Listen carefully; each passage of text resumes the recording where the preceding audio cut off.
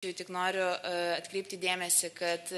lygių galimybių kontrolierės sprendimai šiai dienai kaip kaip ombudsmenės sprendimai yra skundžiami vieninteliai teismi teismui ir ir tai nėra nėra normalu. Aš manau kad lygios galimybės ir lygios teisės turėtų būti taikomos visiems ombudsmenams. Todėl suvienodinimas teisės aktų kad sprendimai visų ombudsmenų teismui nebūtų skundžiami turėtų būti ir ir tai kad tarnyba dalyvavo net keturiasdešim viename teisminiame procese dėl tų kontrolieriaus sprendimų kurie yra rekomendacinio pobūdžio tai mes dėl šios situacijos irgi jau kreipėmės į žmogaus teisių komitetą ir tikrai inicijuosime ir dėsime visas pastangas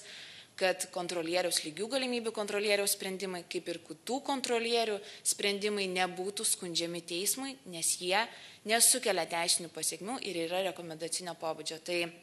aš tiesiog labai tikiuosi ir viliuosi kad